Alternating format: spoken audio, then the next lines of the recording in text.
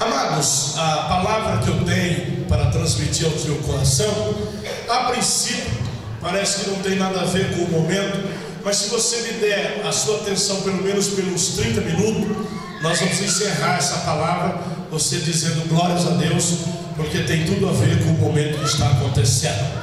O profeta Jeremias, ele diz assim, usado por Deus: clama a mim e respondei-te-ei e anunciai-te-ei coisas grandes e firmes que não sabe. Diga comigo, coisas grandes e firmes que ainda não sabe. Eu quero falar para os irmãos, rapidamente, pelo menos sobre quatro coisas grandes que todo ser humano precisa saber e conhecer, e é o intuito de Deus revelar aos nossos corações estas coisas grandes. Que todo ser humano precisa saber está registrado na carta aos Hebreus, no capítulo de número 2 e versículo 3, quando o escritor diz assim: Como escaparemos nós se não atentarmos para uma tão grande salvação? A primeira coisa grande que Deus quer que todo ser humano saiba é a salvação. A salvação é grande. Alguns atribuem a carta de Paulo, a carta né, de, de Hebreus a Paulo, outros atribuem a Apolo e outros profetas mais ou apóstolos. Porém, uma coisa eu garanto para você: o escritor dessa carta ele tinha conhecimento do que era salvação, porque ele chamou a salvação de grande. Como escaparemos nós se não atentarmos para uma tão grande salvação? Quando o profeta Jeremias diz: clama a mim e respondei-te-ei, e anunciai-te coisas grandes e firmes que não sabe, ele estava se referindo, Deus falando pelo Jeremias, que nós teríamos que conhecer, primeiro, a salvação como uma grandeza de Deus. Diga comigo assim: a salvação é grande. Ó, primeira da salvação, é grande em sua origem. Aonde começou a salvação? Quando Deus criou Adão e Eva no jardim do Éden, deu a eles autoridades e liberdade para trabalhar em todo o jardim, comer de toda a fruta que havia no jardim. Porém, Deus chama Adão e disse: Olha, não coma dessa fruta, porque o dia que você comer, certamente morrerá. Deus não estava dizendo que Adão ia ser fulminado. Deus não estava dizendo que Eva ia ser eletrocutada. Deus não estava dizendo que eles iam ser enforcados. Deus estava dizendo que eles perderiam o direito de vida eterna.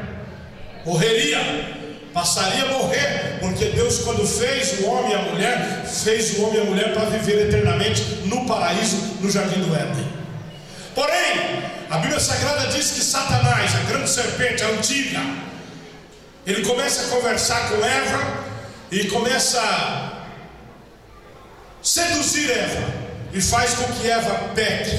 Eva peca ao consumir da fruta e também dá ao seu marido. E a Bíblia diz no capítulo 3 que Deus, quando percebeu que Adão e Eva haviam pecado, fez uma reunião. Diga comigo, reunião. reunião. Parece que nessa reunião estava Adão, Eva, Deus e o diabo. E aí Deus olha para Adão, você pecou? Pequei, Senhor. Então do suor do teu rosto comerás o teu pão, até que torne a terra, tu és pó, ao pó se tornará. Você perde agora o direito de viver no paraíso. Sai. Aí olha para Eva, você pecou? Pequei, Senhor. Então a partir de hoje, com dor terás filho, o seu prazer será para o seu marido e você acompanha ele. Sai do jardim do Éden. Expulsaram os dois do jardim do Éden. Agora sobra Satanás. Aí parece que eu vejo Deus olhando para Satanás e fazendo a seguinte pergunta: Você parece que está contente em ver o homem perder a salvação, em ver o homem perder o paraíso? Pois eu quero te dizer uma coisa, Satanás da semente da mulher, vai nascer um que vai te pisar a cabeça.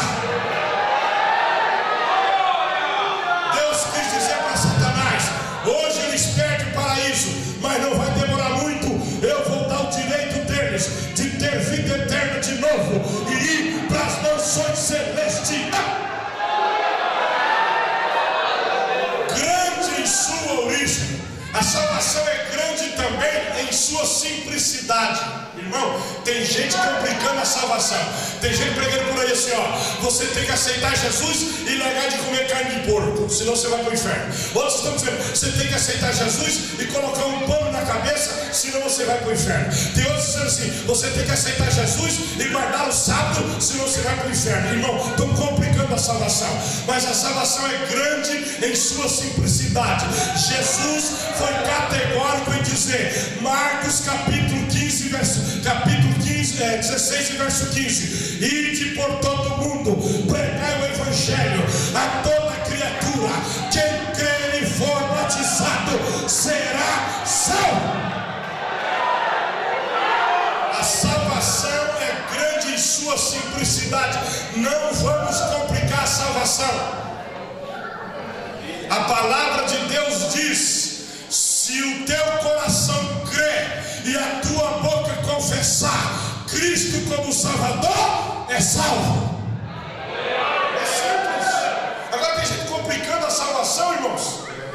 Caminho já é estreito, deputado. Tem gente que estreita mais ainda que nem ele não passa. A salvação é grande em sua simplicidade. Em terceiro lugar, a salvação é grande em seu alcance. Eita, que isso, pastor? João 3,16.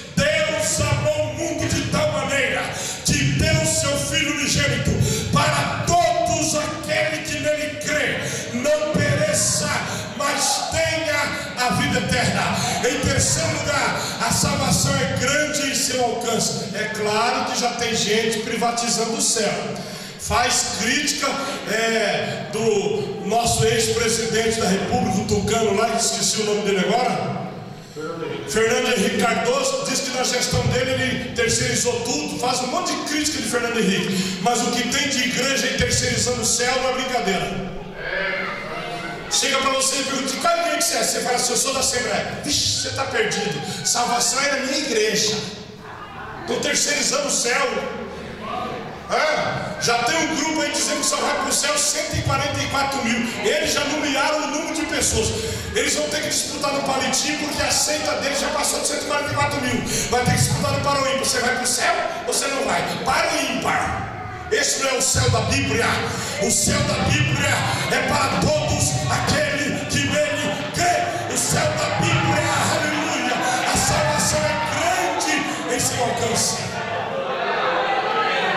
A salvação é tão grande em seu alcance que no capítulo 5 de Apocalipse, versículo 9, ouviu-se uma voz que dizia: Quem são estes? Estes são o que o Senhor comprou com o seu sangue,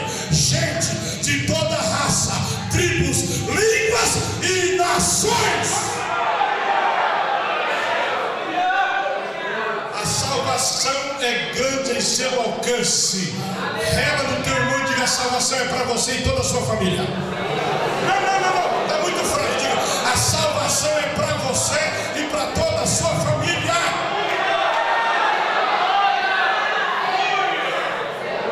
Tem gente privatizando o céu. Acha que o céu é de uma denominação evangélica. Eu sou assembleiano desde o dia que aceitei Jesus. Não vou sair da Assembleia nem para ir para o céu. Porque lá no céu tem a Assembleia dos Santos, eu vou continuar congregando nela.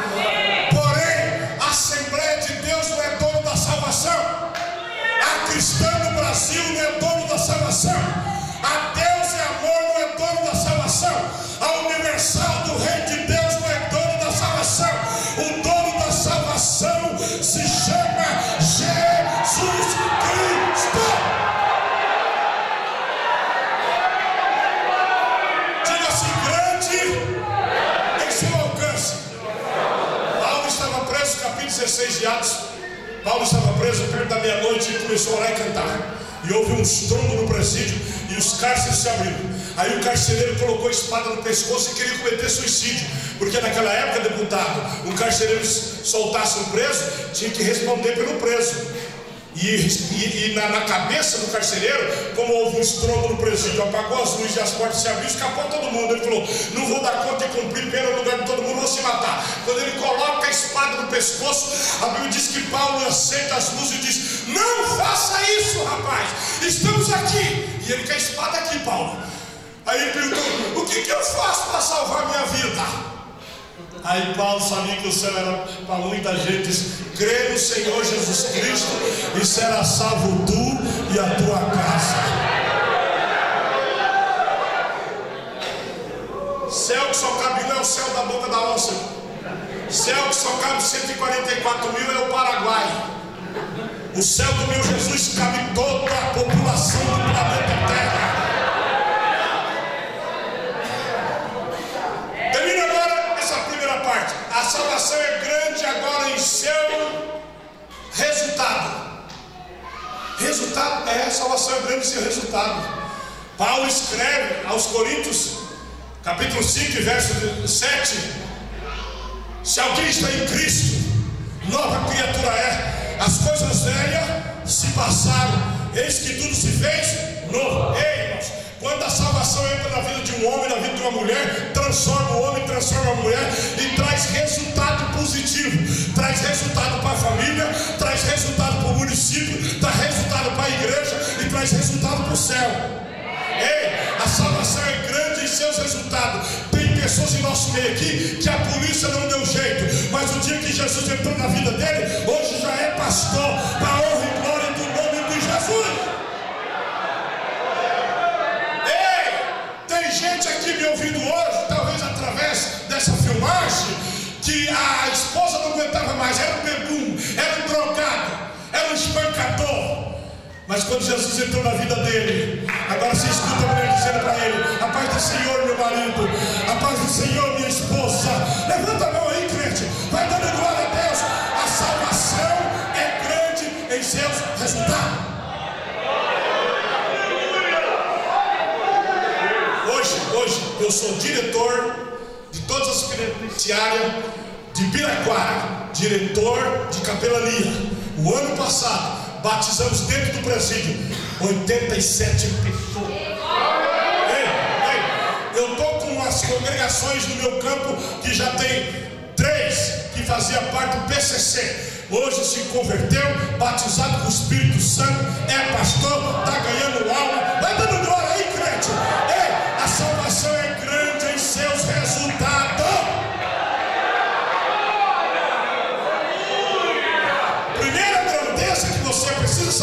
Salvação. Diga, é, é algo grande. Segunda grandeza que você precisa saber, saber. Isso é bom saber. A Bíblia Sagrada diz, em Mateus capítulo 22, versículo 38 e 39, Jesus estava sendo interrogado por uma pessoa a respeito dos mandamentos. E ele pergunta para o Senhor: qual é o grande mandamento? Jesus disse assim: Ó, amar a Deus acima de todas as coisas. Mas tem mais um negócio que eu vou dizer para você: tem um negócio grande igual esse aí também. Qual que é? Amar o seu próximo como a ti mesmo. A segunda coisa que todo ser humano precisa saber é que o amor que eu sinto pelas pessoas tem que ser grande. Amar o próximo. Todo problema de desordem no planeta Terra é falta de amor ao próximo. Ei, pode se organizar do jeito que quiser, se não gerar um amor ao seu próximo, o mundo, o Brasil não terá jeito. Mas eu acredito num povo que tem Jesus na vida e que ama o próximo e que sabe que este amor é grande. Amar o próximo é coisa grande. Escuta, quando nós amamos o nosso próximo, não queremos o mal dele.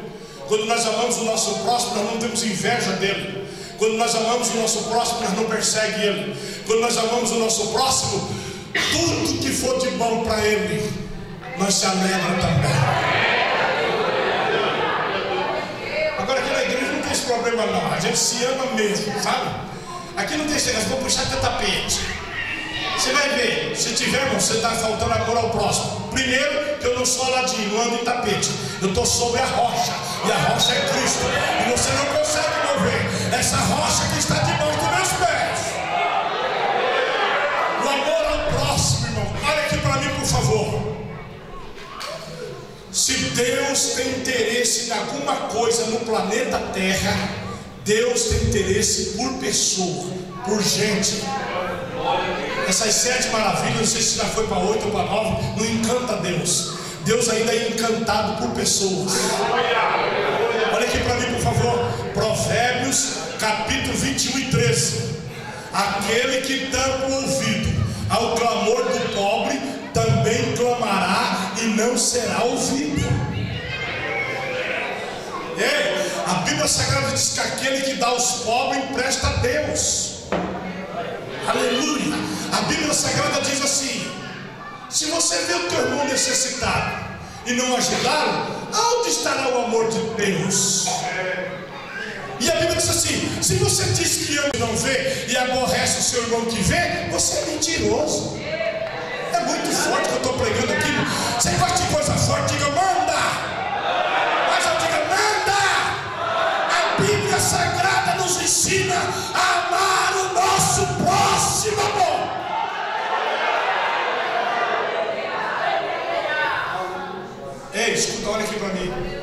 Eu assumi 10 anos atrás era um setor, 10 anos para cá, ficou campo.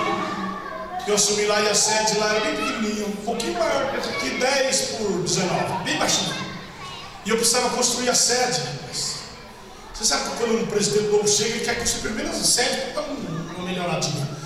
E eu tenho uma campanha de oração lá até o dia de hoje, toda terça-feira de manhã, chamo os obreiros para orar comigo. E eu estava orando, irmãos. Eu senti que houve uma manifestação do Espírito Santo na oração, linda, estranha, choro. A gente se arrepia, sente que Deus está querendo falar. Mas a gente sempre ensinou o obreiro que o obreiro que tiver uma mensagem para um pastor, não transmita ela publicamente, seja o que for. Porque Jesus ensinou assim, nas sete cartas às igrejas da Ásia. Aqui, João, essa mensagem é lá para a igreja, mas você vai entregar essa carta lá para o anjo da igreja, tá? Entrega para ele que lê lá. Aí eu ensinei isso, mas já esperando, terminou a oração com Deus. Tem alguma coisa para mim aqui. Fiquei por ali. Vou falar até o nome do abençoado. Hoje não está no meu campo, está em outro lugar, mas abençoado não. Pastor Alexandre. Ele chegou assim para mim e disse assim, Pastor Hermes, o que foi? Deus mandou o senhor construir uma casa de recuperação para viciado em droga. Ai, ai, ai, eu estou querendo construir o templo. Ele veio falar para mim que eu estava um drogado. Escuta, Deus falou assim para mim, bom, escuta o que eu vou dizer para você, que isso aqui é muito forte. Que a mesma missão que o pastor tem, vocês têm. Vocês não estão em cargo porque vocês querem. Será que esse deputado, com a idade que tem, já já tem o suficiente para sobreviver? Será que o boy não já tem? Tem, com certeza, são homens profissionais. Porém, é uma missão de Deus. E tem hora que a gente não escapa. Deus falou assim para mim: Aqui é a igreja que investir em pessoa, eu vou investir nela.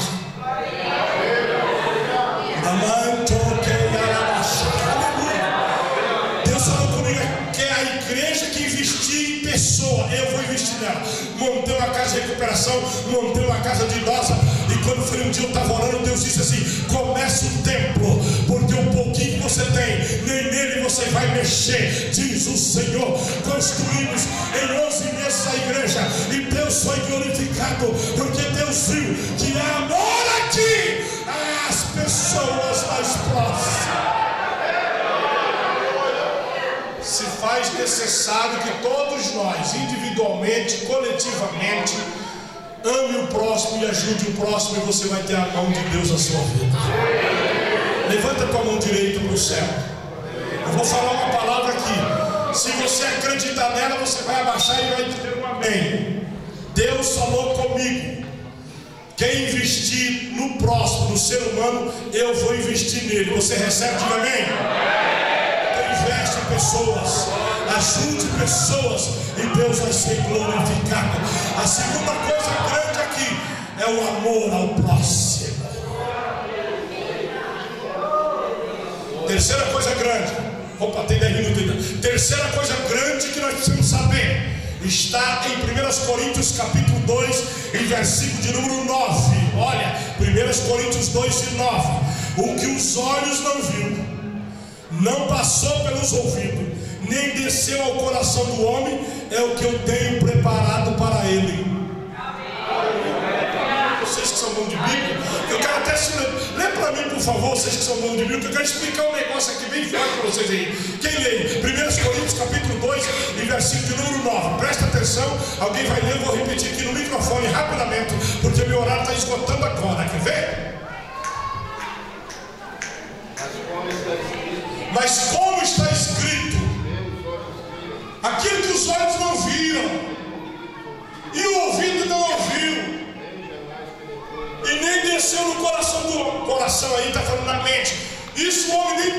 nem passou na cabeça dele. É o que Deus tem preparado.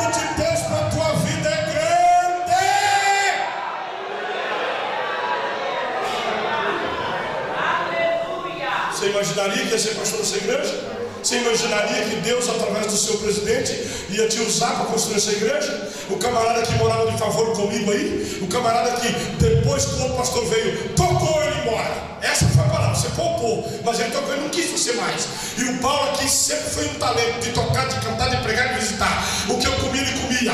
E a irmã dele, é, que morava aqui perto, nos ajudava no que podia também. Mas o propósito de Deus era grande. Enquanto você se batia para lá e para cá, parece que eu estou vendo Deus olhando lá de cima. Ah, se eu pudesse falar para ele o que eu tenho na vida dele, naquela cidade ainda. E ele chorando, e ele chorando. E parece que eu vejo Deus, ah, se eu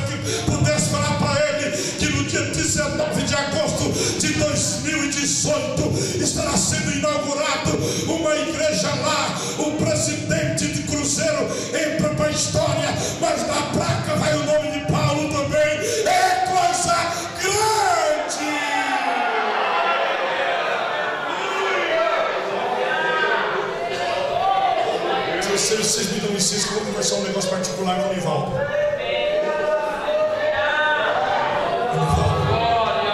Você imaginaria que aquele Hermes Feitosa, com um brechózinho tapejado, morando no refeitório da igreja de empréstimo, comprando cavalo velho, galinha, porco. Você imaginava que aquele homem poderia ser o pastor presidente hoje?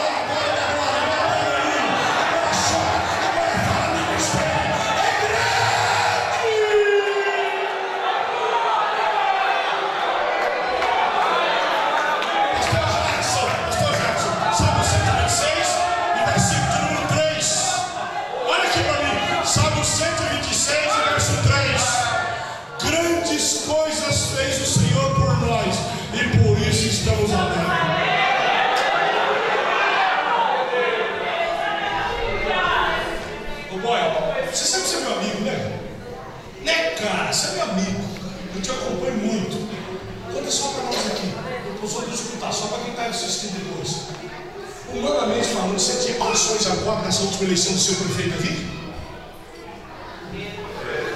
Hã? Pode falar aí, boy. Você tinha não? Quem é que te colocou aqui, boy? Deus. Deus! Os outros concorrentes, meu amigo. E barulho, e barulho. E Deus olhando cima, pode fazer o barulho que quiser. Eu quero boi primeiro.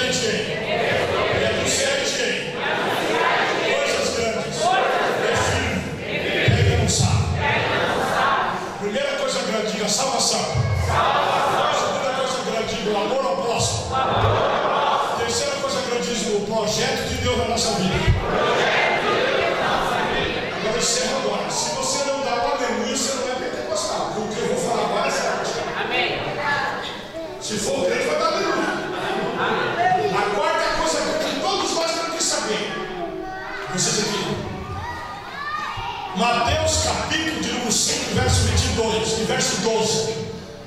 Alegrai-vos e exaltai-vos no Senhor, porque é grande o vosso galardão no céu.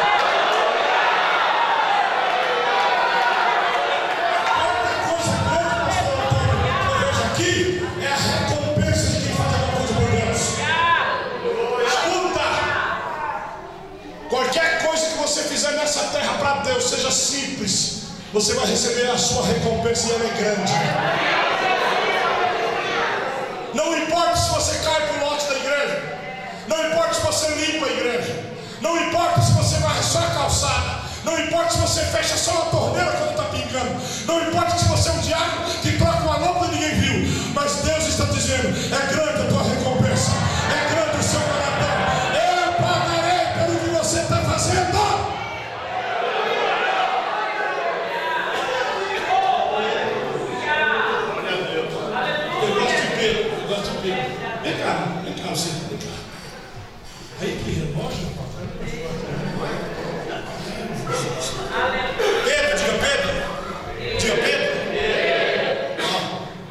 Pedro chega para Jesus e Jesus é o seguinte, eu vou ser bem sincero com porque tem, tem umas pessoas, que até para falar com, com Jesus é meio fresco, sabe? Fica rodeando, fica inventando palavra difícil. Deus quer que você seja direto, meu amigo. Não tem que ficar inventando, não. Pedro falou assim: ó, Jesus, conversando com Jesus, Jesus, é o seguinte, vou falar no nome dos meus amigos aqui, não vou enrolar o senhor, não, sou pescador, você sabe disso. A pesca não está fluindo muito, mas pelo, menos eu ganhei um pouquinho comer. Tá bom, fala aí, Pedro. Jesus, a pergunta é a seguinte: quanto nós vamos ganhar se nós deixar tudo e te servir? Você foi, foi ou foi? Hã? Aí Jesus disse: você se lembra? Cem vezes nesta vida e por fim a vida eterna.